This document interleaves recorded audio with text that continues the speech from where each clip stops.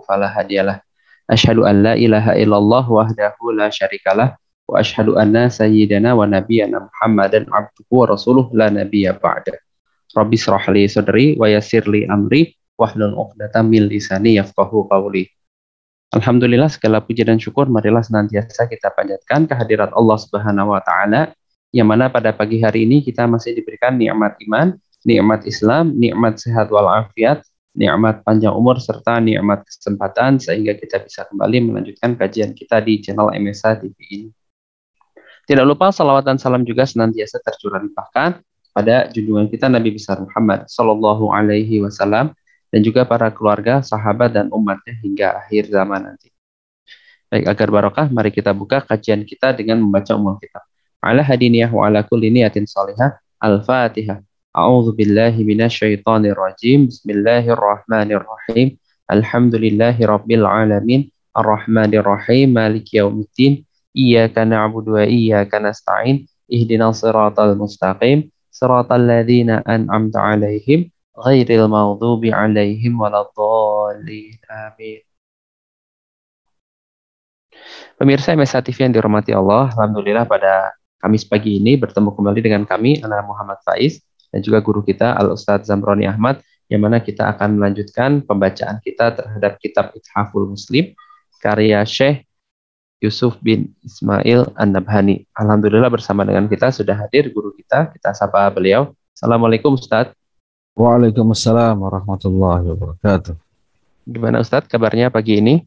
Khair alhamdulillah. Alhamdulillah Ustadz, khair ya Ustadz.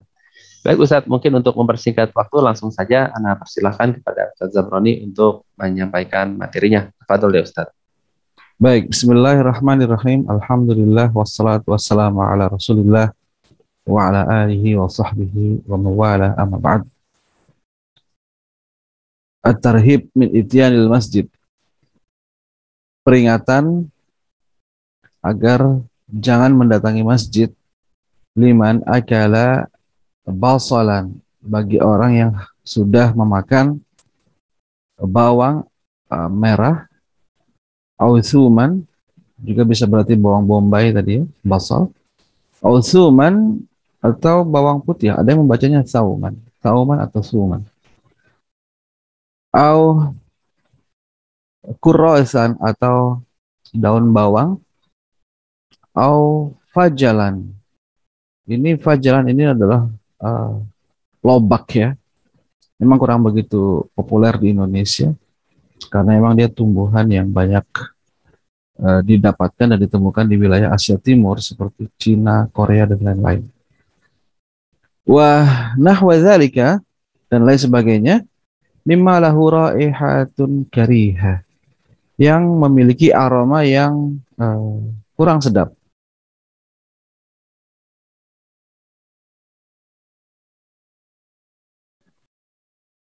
Ali bin Umar radhiyallahu anhuma anna Nabiya sallallahu alaihi wasallam qala man akala min hadhihi asyajarah siapa yang makan dari e, tumbuhan ini yakni asum yaitu bawang fala yaqrabanna masjidana maka jangan dekati masjid kami rawahul bukhari wa muslim.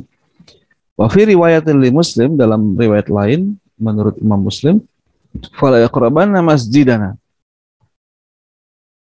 Maka janganlah dia mendekati masjid kami. Wa fi riwayatin lahuma um, yang riwayat yang disepakati oleh keduanya yakni Bukhari dan Muslim berbunyi falayatiyannal masajid. Maka janganlah dia mendatangi masjid-masjid. Wa an Anasin radhiyallahu anhu qala qala an-nabiy sallallahu alaihi wa alihi wasallam man akala min hadhihi syajarah siapa yang makan dari tumbuhan ini yaitu bawang fala yaqrabanna aw la yusalliyanna ma'ana maka janganlah mendekati kami fala yaqrabna aw la yusalliyanna ma'ana jangan dekati kami atau jangan sholat bersama kami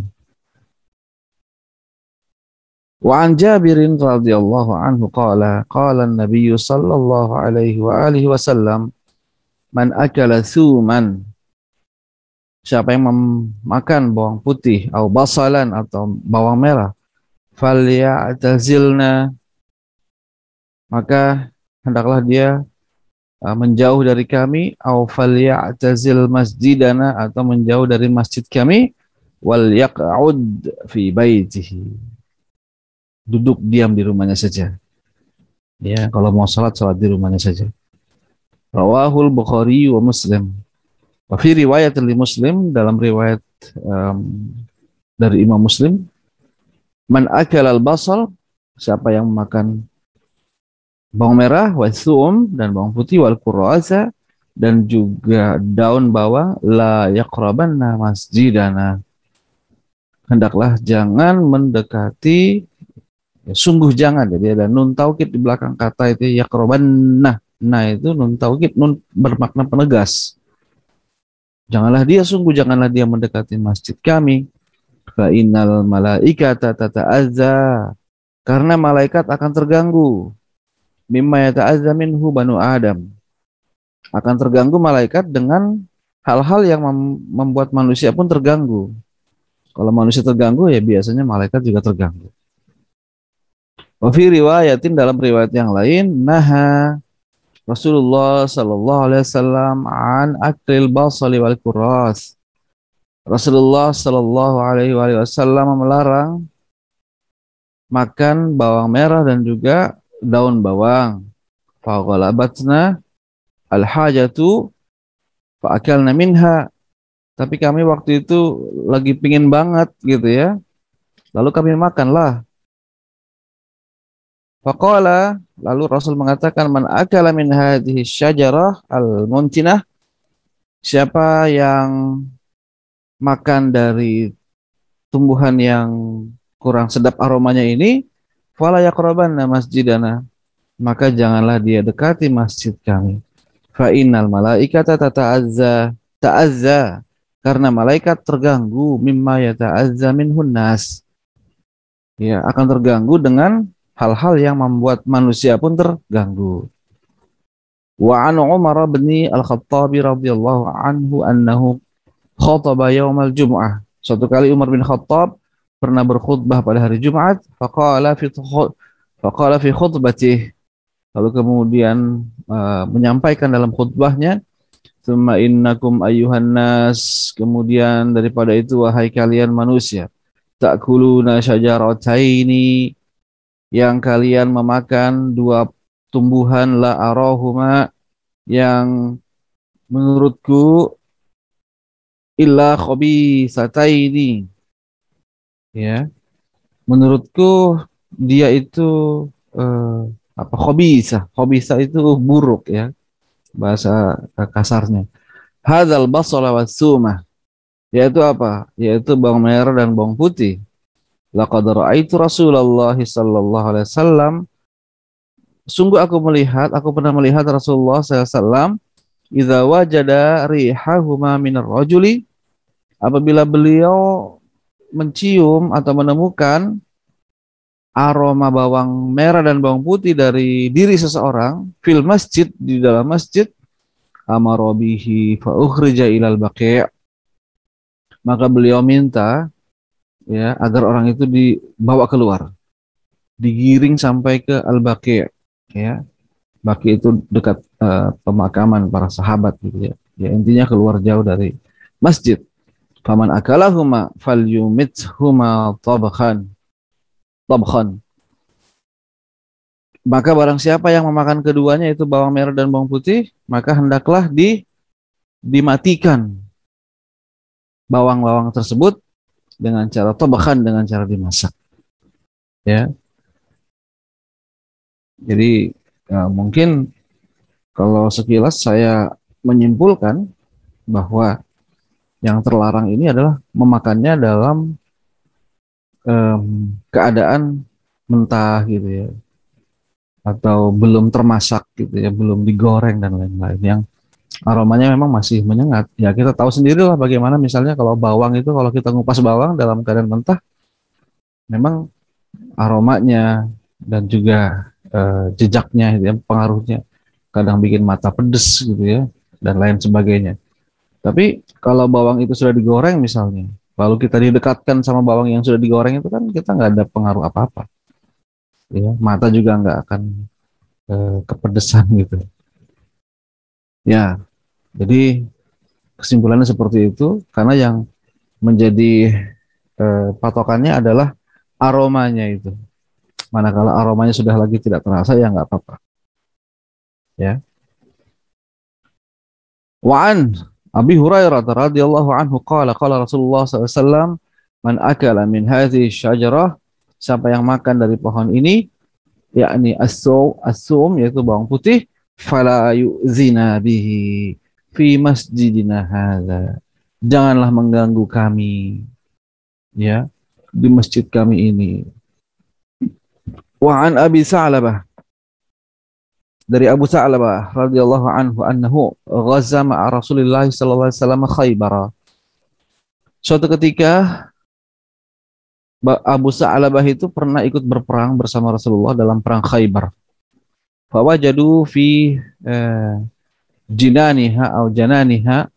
Lalu para sahabat ketemu dengan eh, basolan wasuman, ketemu dengan bawang merah, bawang putih di kebun-kebun milik uh, orang Yahudi Khaybar. Fa'akalu minhu wahum juya. Lalu sebagian sahabat itu makan ya. Ya para sahabat makan dari apa namanya dari bawang gitu ya dari bawang putih bawang merah itu karena mereka dalam keadaan lapar ya. Falamma raha annasu ilal masjid. Ketika uh, mereka para sahabat pergi ke masjid idza rihal masjidu ya.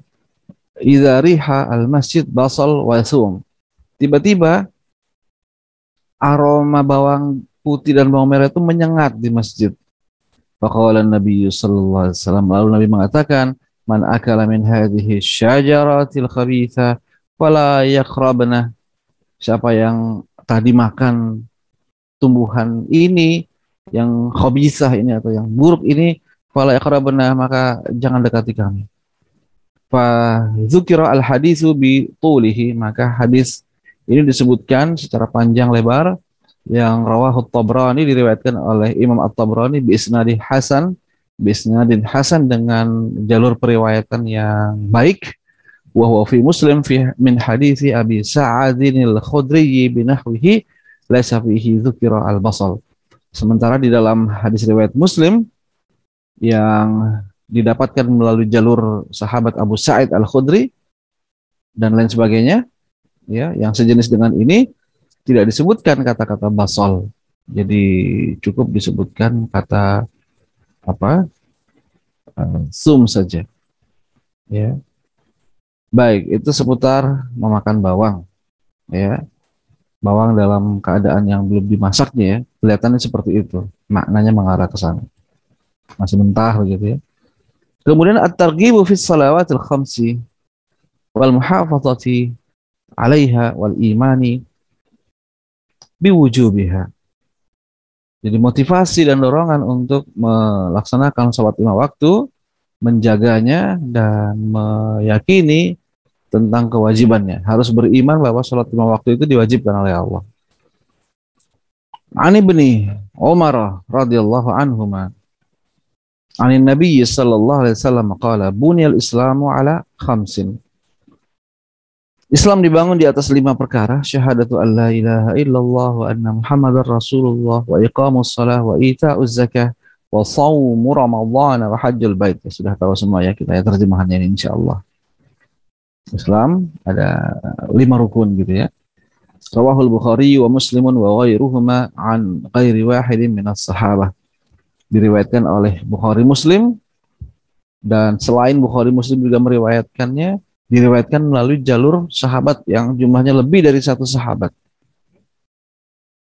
Wa ani wa an wa an Umar bin Al-Khattab radhiyallahu anhu qala qala bainama nahnu masih dari Umar bin Khattab um, bainama nahnu sebentar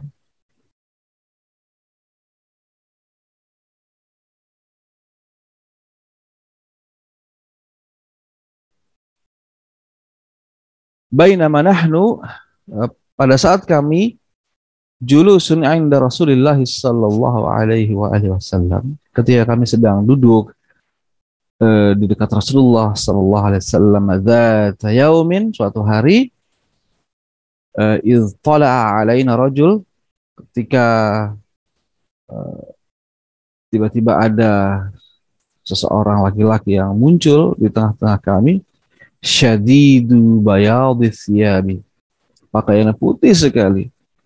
Syadidu sawadis sya'ri. Rambutnya hitam sekali. La yura alaihi atharus safari. Nggak terlihat bahwa dia itu orang yang sedang habis safar gitu ya. Orang habis safar kelihatan lelah bajunya berdebu mungkin gitu ya. Nggak kelihatan tuh kayak orang nggak dari mana-mana. Wala ya'rifuhu minna ahad tapi nggak ada seorang pun dari kami yang kenal dia. Hatta jalasa ila Nabi sallallahu alaihi wasallam. Hingga kemudian dia duduk ya mendatangi Nabi. Fa asnada rukbataihi. Dia menyandarkan kedua lututnya ila rukbataihi kepada kedua lutut Nabi. Wa wada'a kafaihi ala fakhidaihi. Dia meletakkan kedua telapak tangannya di atas kedua paha Nabi Wa qala ya Muhammad dan dia mengatakan wahai Muhammad akhbirni anil Islam. Wahai Muhammad beritahu saya tentang Islam. Faqala Rasulullah sallallahu alaihi wasallam al-islamu an tashhada an la ilaha illallah wa anna Muhammadan Rasulullah wa tuqima as-salata wa tu'ti az-zakata wa tasuma Ramadan wa tahujja al-bait. Kita sudah tahu semua terjemahan ini ya. Ya intinya rukun Islam itu ya. Wa tahujjal bait kamu mengunjungi Baitullah atau berhaji ke Baitullah. Al hadis rawahul Bukhari wa Muslimun wa ghairuhuma an ghairi wahidin min sahabat Ini juga sama komentarnya di sini bahwa hadis ini diriwayatkan oleh Bukhari, Muslim dan lain sebagainya. Dan diriwayatkan melalui jalur sahabat yang jumlah sahabatnya lebih dari satu. Artinya um, kejadian itu betul-betul uh, nyata gitu. Wa an Abi Hurairah radhiyallahu anhu qala Sami'tu Rasulullah sallallahu alaihi wasallam yaqul Aku mendengar Rasulullah berkata kata Abu Hurairah Ara'aitum law anna nahran bi babi ahadikum? Bagaimana menurut kalian? Seandainya ada sungai di depan pintu kalian yang tasilu minhu kulla yaum lalu kemudian dia mandi setiap hari khamsa marrat lima kali sehari hal yabqa min daranihi syai' apakah masih tersisa di tubuhnya ada kotoran? Qalu la yabqa min daranihi syai' para sahabat menjawab wah tidak ada ya Rasulullah. Tidak ada lagi tersisa kotoran di badannya. Jangankan lima kali ya mandi dua kali sehari aja udah cukup seger gitu ya. Tiga aja udah kebanyakan gitu. nah ini lima. Wah tentu lebih bersih lagi Lalu Rasul mengatakan qala fadzalika matsalus salawatil khamsi begitulah perumpamaan salat lima waktu. Yamhullahu bihinnal khataya. Dengan salat itu Allah menghapus dosa-dosa. Wa an Abi Hurairah radhiyallahu anhu anna Rasulullah sallallahu alaihi wa alihi wasallam qala as-salawatul khams wal jum'atu ila al-jum'ah. Di antara tiap-tiap salat lima waktu, antara satu Jumat ke Jumat berikutnya, kafaratun lima bainahunna menjadi penebus dosa, penghapus kesalahan bagi dosa-dosa yang dilakukan di antaranya. Habis subuh melakukan dosa, zuhur terdapat kafarat. Habis zuhur melakukan kesalahan, asar salat kita dapat kafarat penghapusan dosa. Pada asar kita melakukan kekeliruan lagi, maghrib gugur lagi. Habis maghrib kita melakukan kekhilafan, isya terhapus lagi. Masya Allah. Dalam seminggu kita melakukan kesalahan dan dosa-dosa, Jumat berikutnya Allah hapuskan lagi dosa-dosa tersebut. Ya, malam tughsya al-kabair selama dijauhi dosa-dosa besar. Apa itu? Durhaka pada orang tua, makan riba, ya. Berzina, naudzubillah. Ya. Liwat dan lain sebagainya. Wa an Jabir radhiyallahu anhu qala. Qala Rasulullah, oh termasuk juga kesirikan ya. Hati-hati, syirik itu dosa besar sekali. Ya. Jadi kalau lagi mau ada kondangan atau mau ada hajatan apa-apa. Um, ya kalau misalkan merasa terganggu dengan hujan tinggal tinggal minta sama Allah. Baca doa Allahumma hawa alaina la alaina ya Allah. Kirimkan hujan ini di sekitar kami, jangan di tengah-tengah kami. Ya. Itu cukup sudah. Doa begitu dapat pahala, kalau dikabulkan alhamdulillah, nggak dikabulkan ya bersabar. Ya, daripada mengundang pawang. Ya. Hati-hati, lebih percaya kepada perilaku seorang pawang khawatir terjatuh kepada kesyirikan. Hmm? Mempercayai sesuatu, mempercayai kekuatan di luar kekuatan Allah. Itu khawatir terjatuh kepada uh, kesyirikan. Sudahlah hujan yang nggak pasti berhenti, ya belum meyakinkan, gitu ya. dosanya sudah duluan. Dan itu kalau betul syirik masuk dalam dosa besar. Nauzubillah sama nauzubillah min dzalik. Wa an Jabir radhiyallahu anhu qala Qala Rasulullah sallallahu alaihi wasallam. Mathalus salawatil khamsi. Perumpamaan salat lima waktu. Kama salinahrin jarin ghamrin laksana sungai yang mengalir deras ala babi ahadikum di depan pintu kalian. Yang tasilumin hukul yaumin dia mandi dari sungai tersebut khamsa marrat lima kali. Rawahu muslim. Wa an Uthman radhiyallahu anhu qala haddatsana Rasulullah sallallahu alaihi wasallam inda sirafina min salatina. Utsman bin Affan mengatakan Rasulullah pernah menyampaikan kepada kami ketika kami selesai sholat arahu qala al asra uh, kalau tidak salah itu sholat asar kata Utsman Faqala lalu Rasul mengatakan ma adri uhaddithukum bi syai'in aw askut. Uh, aku bimbang apakah aku sampaikan atau aku diamkan kata Rasulullah. Ada sesuatu ini yang mau yang yang yang kira-kira merisaukan beliau gitu ya Fakulna ya Rasulullah kami mengatakan wahai Rasulullah ingkana khairan fahadisna kalau itu baik sampaikanlah pada kami wa ingkana ghaira dzalik kalau misalkan sebaliknya ya tidak baik maksudnya Allahu wa rasuluhu a'lam maka Allah dan Rasulnya lebih tahu. Silahkan mau menyampaikan atau tidak. Kalau Rasul pun me, me, apa, melihat bahwa itu baik maka beliau pun menyampaikan. Ma min muslimin yatatahharu fayutimmu tuhura. Tidaklah seorang muslim bersuci lalu menyempurnakan bersucinya. Ya, alladzi kataballahu alaihi sebagaimana yang diwajibkan oleh Allah fayusalli hadhihi salawatul khamsa kemudian dia salat lima waktu illa kafaratin lima bainaha tidaklah seorang muslim melakukan itu melainkan itu akan menjadi kafarat ya dosa-dosa antara keduanya di antara salat-salat itu. Makanya kalau kita waktu salat tiba lalu berwudu wudulah yang sungguh-sungguh benar-benar dihayati ya Allah. Lagi wudu aja kita udah merasakan gugur dosa-dosaku ini. Ingat lagi dosa yang habis dilakukan tadi gitu ya. Dan yakinlah bahwa Allah itu mengampuninya Kafi riwayatin anna Utsman qala dari riwayat Utsman Utsman bin Affan qala dia mengatakan wallahi demi Allah lau hadisannakum hadisan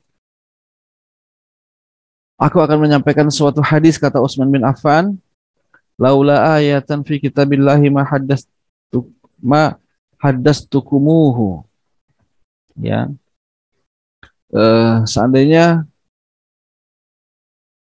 bukan ya merupakan satu ayat dalam Al-Qur'an, aku tidak akan menyampaikan. Sami itu Rasulullah SAW. Maksudnya, kalau Quran aku sampaikan, selain Quran aku nggak sampaikan, kata Utsman. Aku hanya menyampaikan Quran aja. Tapi ini ada sesuatu yang penting nih yang bukan Quran ini yang aku ingin sampaikan. La yatawaddau rajulun fayuhsinu wudu'ah. Tidaklah seseorang itu berwudu dan memperbagus wudunya, thumma yusallis salata, lalu kemudian dia salat illa ghufira lahu ma bainahu wa bainas salati. Dia salat kecuali akan diampunkan ya. Tidaklah orang berwudu lalu salat melainkan dia akan diampunkan dosa-dosanya, dosanya yang mana? Yang tadi dan yang nanti gitu ya. Misalkan kita melakukan sholatnya itu zuhur, dosa-dosa sebelum zuhur dan dosa-dosa sesudah zuhur akan diampunkan. Itu yang disebut dengan gufirallahu ma bainahu wa bainas salati lati taliha. Akan diampunkan dosa antara satu dengan salat berikutnya. Ya, rawahul Bukhari wa Muslim. Fi riwayat Muslim qala. Dalam riwayat Muslim dikatakan, Sami itu Rasulullah SAW yaqul, Utsman bin Affan mengatakan aku mendengar Rasulullah bersabda, Man tawadda'a lis-salati Siapa yang berwudu untuk salat fasbagal wudu'a dan menyempurnakan wudunya summa masya ila salati al-maktubah kemudian dia berjalan menuju tempat salat wajibnya atau dia melakukan salat wajibnya fasallaha ma'an nasi lalu dia kemudian melakukan salat bersama orang-orang atau ma'al jamaah atau berjamaah atau fil masjid atau mungkin di masjid. Ghafarallahu lahu dzunubahu maka Allah akan mengampuni dosa-dosanya Wa fi riwayatin lahu aidan dalam riwayat Utsman juga qala Utsman mengatakan sami'tu Rasulullah sallallahu alaihi wasallam yaqul. Aku mendengar Rasulullah bersabda ma min muslimin. Tidaklah seseorang muslim tahduruhu salatul maktubah ketika tiba waktu salat wajib. Fayuhsinu wudu'aha lalu dia bergegas memperbagus wudunya wa khusyu'aha dan melakukannya dengan khusyuk ya wa ruku'aha dan melakukan ruku illa kanat kafaratan kecuali itu akan menjadi kafarah lima qablaha minadzum kafarat penghapus bagi dosa-dosa yang dilakukan sebelum salat tersebut malam yu'ti kabiratan selama dia tidak mendatangi dosa besar Wadzalika dzahra kullahu. Dan itu berlaku sepanjang waktu. Ya, maksudnya setahun gitu ya. Wa an Jundab ibni Abdullah radhiyallahu anhu qala Qala Rasulullah sallallahu alaihi wasallam man shalla subha fa huwa fi zimmatillah. Siapa yang melakukan salat subuh maka dia akan berada dalam perlindungan Allah. Fala yatlubannakumullahu min zimmatihi bi syai'in fa yudrikahu fa yakubbahu fi nari jahannam. Ya. Siapa orang yang tidak mendapat perlindungan Allah hati-hati. Ya. Maka dia nanti akan di dijumpai oleh sesuatu yang membuatnya bisa tersungkur di dalam neraka, ya. Ditelungkupkan di dalam neraka.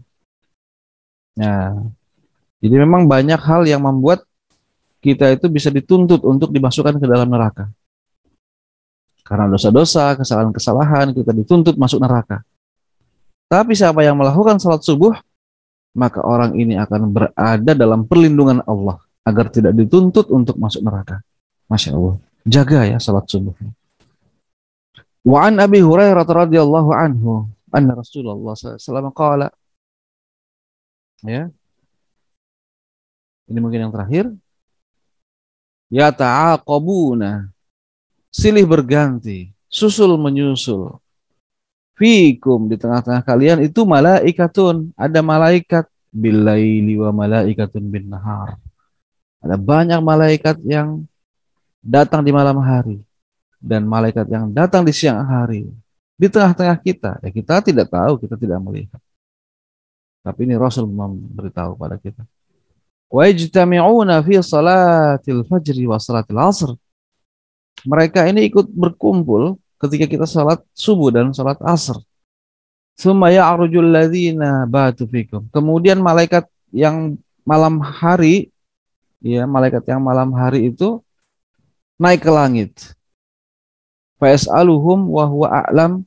Lalu Allah menanyakan kepada mereka, padahal Allah sudah tahu kan, tapi Allah prosedurnya begitu bertanya kepada malaikat bihim mengenai uh, apa Allah lebih tahu daripada malaikat kaifa ibadi. Allah menanyakan bagaimana kalian tadi? Bertemu lalu kemudian meninggalkan hambaku. Dalam keadaan bagaimana kalian pergi dari dunia tadi itu menaik ke langit gitu ya. Dan mereka pun mengatakan taraknahum wa hum yusallun. Kami meninggalkan mereka dalam keadaan sholat. Wa atainahum wa hum yusallun. Kami datang dalam keadaan mereka sholat lagi begitu ya. Jadi bergantinya malaikat itu datang, malaikat datang ke bumi itu waktu subuh dan waktu asar. Dia datang subuh-subuh, eh ketemu sama kita di masjid. Dia datang waktu asar, eh ketemu sama kita di masjid. Ya. Dia datang subuh, eh kita lagi sholat. Dia datang, mereka datang pada saat asar, eh kita sedang sholat. Ya.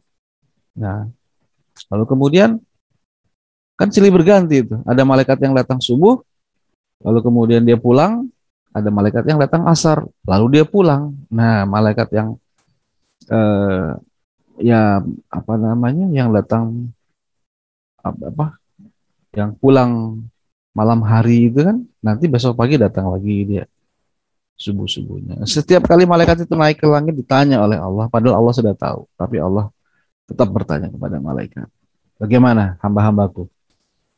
Malaikat menjawab, wah mereka sedang sholat. Gitu. Kami datang, mereka lagi sholat. Kami tinggalkan, mereka lagi sholat. Masya Allah.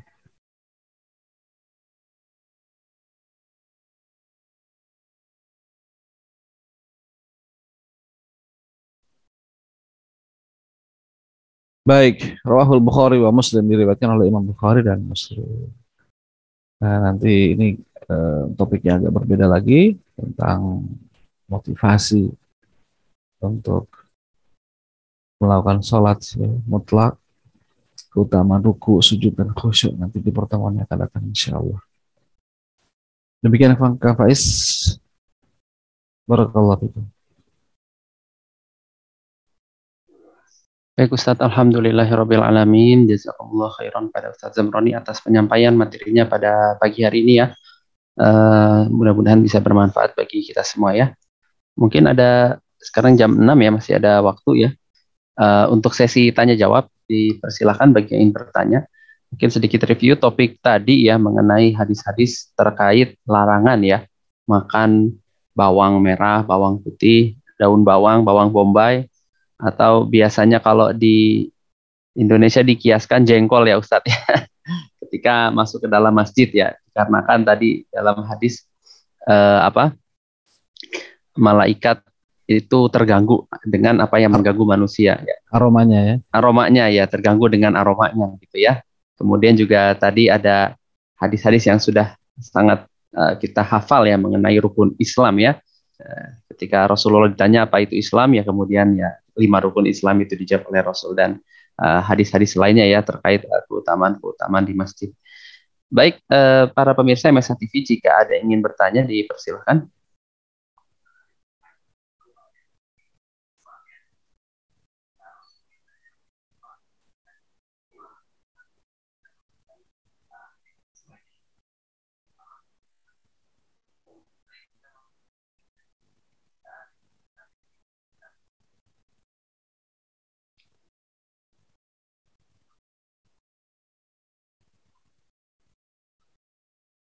Kita lihat di YouTube belum ada ya.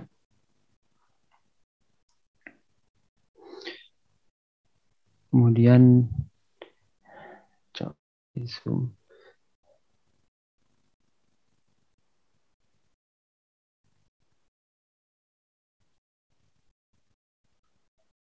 Baik Ustadz, ada pertanyaan Ustadz dari dari Zoom ya. Afan Ustadz, jadi yang makan bawang tersebut atau semisalnya berdosa atau makruh atau gimana Ustadz? Nah, itu pengambilan hukumnya gimana? Ya, hukum makannya mubah. Karena memang tidak ada e, keharamannya kan. Karena kaidahnya tetap berlaku sama al-aslu fil asya al-ibahah malam yarid dalilu at-tahrim. Jadi benda-benda yang tidak disebutkan keharamannya dalam Al-Quran atau dalam hadis, maka itu tetap mubah. Nah, maka benda-benda yang mubah kalau dimakan halal. Kan gitu.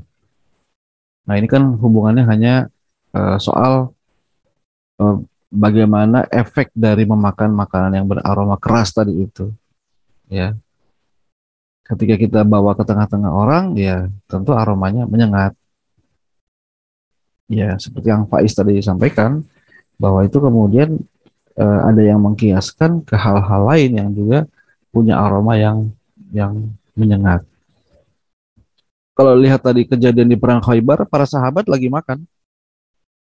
makan bawang gitu kan. Makan bawangnya sama Nabi nggak dilarang. Begitu masuk masjidnya nah itu baru kemudian diingatkan oleh Nabi. Gitu. Jadi nggak apa-apa. Makannya nggak apa-apa. Setelah makan itu dibawa sholat berjamaah nah itu yang yang nggak boleh makanya Rasul kan mengatakan uh, Rasul bukan melarang memakannya Rasul cuma bilang fal yaqud ya fi baitihi duduk di rumahnya aja kalau gitu. Jadi Rasul tidak menghentikan untuk memakannya, tapi Rasul hanya minta di rumahnya aja dulu lah ya sampai aromanya eh, nggak eh, kerasa lagi gitu. Gitu. Nah, Faiz. Mungkin Ustadz, apakah tadi bentuk Rasul itu sebagai larangan tidak tegas yang mengindikasikan makruh atau gimana Ustadz? Mungkin gua biar mentegaskan hukumnya kalau makan di masjidnya bukan makan secara Iya, yang yang makruh itu justru lah, makruhnya ke masjidnya. Karena Rasul bukan mengatakan layak kul kan gitu ya. Hmm. La takul jangan makan bukan itu, tapi layak rob layak roban hmm. atau layak robna jangan deketin masjid. Jadi ada orang yang masih makan bawang, masih deketin masjid itu yang makruh gitu. Oh, iya. makruh iya. mendekati masjidnya bukan makruh memakan bawang. Ustaz ya. Jadi jelas ya, yang jadi makro itu bukan makannya, tetapi mendekati masjidnya ya. Baik. Oke. Kemudian ada pertanyaan singkat Ustaz. Kemarin sudah dibahas ya, mungkin uh, yang bertanya di YouTube ini uh, sempat terlewat. Apakah sikat gigi sama dengan siwak Ustaz? Ya, ada yang uh, mengatakan sama. Ya, dari segi fungsinya, jadi sama seperti siwak bahkan kadang uh, melebihi fungsi siwak itu sendiri. Ya, tapi ada yang kemudian mengambil fadilah lain, ya, mengambil keutamaan lain dari kayu siwaknya itu sendiri. Jadi bukan dalam rangka untuk kebersihan, bukan dalam rangka untuk uh, ke apa ya, keharuman aroma mulut, bukan, tapi karena emang mengambil fadilah dari um, kebiasaan Nabi saja. Karena orang yang menggunakan kayu siwak, apalagi yang memang belum terbiasa, ya.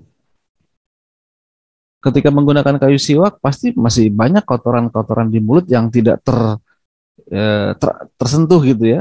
Kemudian juga dari segi aroma juga tidak tidak bisa menyelesaikan, apalagi yang baru-baru menggunakan siwak begitu. Ya, tapi dia ingin mendapatkan fadilah atau keutamaan bersiwak karena mencontoh Rasulullah. Jadi eh, ber ya istilahnya itu taasi atau taasi bi af'alir rasul jadi mencontoh perilaku rasulnya dia niatkan untuk mendapat fadilahnya itu yang membuat dia mendapatkan pahala jadi ada sunnah untuk mem, apa tanziful asnan membersihkan gigi ada sunnah atau fadilah khusus untuk me, menggunakan kayu siwak secara khusus gitu Kang Faiz baik ya Syukuran Ustadz, jasa kalau khairan sekali lagi atas jawaban atas pertanyaan-pertanyaannya. Mungkin kita cukupkan ya Ustadz sesi tanya jawabnya. Uh, sebelum yeah. ditutup mau disampaikan lagi Ustadz kepada jamaah uh, ya. online ini Baik. Ustadz. Ya jadi um, sholat adalah tiang agama.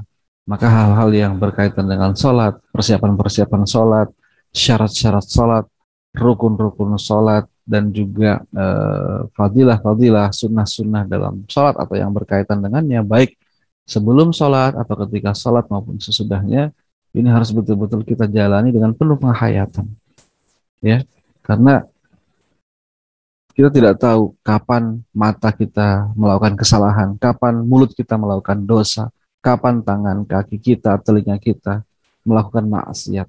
Nah, dengan menjaga sholat ini lebih baik lagi dan lebih penuh penghayatan lagi, insya Allah dosa-dosa dan kesalahan-kesalahan itu akan digugurkan atau dihapus oleh Allah Subhanahu wa taala. Insya Allah. Jadikan kegiatan sholat kita sejak hari ini dan seterusnya menjadi lebih uh, berkualitas lagi. Mungkin selama ini kita sudah perhatian aspek kuantitasnya, ya dari segi kedisiplinannya, kuantitasnya, mungkin kita sudah lakukan. Tapi dari segi kualitas, penghayatan, kesungguhan, lalu kemudian sambil menyadari bahwa ini adalah momen untuk menggugurkan dosa-dosa, ini harus lebih kita hadirkan kembali dalam eh, diri kita. Nah, mudah-mudahan dengan begitu uh, saat saat di mana ajal kita tiba, ya kita dalam keadaan tergugurkan atau terhapuskan dosa-dosa. Atau sekurang-kurangnya saat malaikat yang tadi sini berganti datang ke dunia, gitu yang melaporkan kepada Allah tentang apa yang kita lakukan hari itu, malaikat hanya melaporkan kita kepada Allah bahwa kita sedang sholat, sholat, sholat, dan sholat. Allah alam bisawab tafadhal Pres.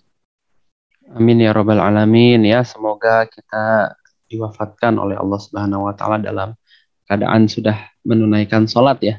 Yang mana insya Allah ketika kita sudah sholat ya kita tandanya kita siap ya. Dipanggil oleh Allah ya. Dan tadi pesannya tidak hanya meningkatkan kuantitas ya tetapi kualitasnya juga ya kekhusyuannya gitu ya semoga kita semua sekali lagi diberikan istiqomahan untuk senantiasa taat beribadah kepada Allah dan semakin ditingkatkan lagi kualitas ibadahnya. Baik, uh, jamaah MSH TV yang dirahmati Allah, uh, berakhir sudah kajian subuh pada pagi hari ini ya. Mudah-mudahan bisa kembali lagi mengikuti kajian uh, pekan depan ya. Mari kita sama-sama tutup dengan membaca hamdalah. Alhamdulillahirabbil alamin, kemudian istighfar, astaghfirullahaladzim, astaghfirullahaladzim, astaghfirullahaladzim dan doa kafaratul majelis subhanaka Allahumma wa bihamdika asyhadu an la ilaha illa anta astaghfiruka wa atubu ilaik. Alafu minkum wa billahi taufiq wal hidayah. Wassalamualaikum warahmatullahi wabarakatuh. Waalaikumsalam.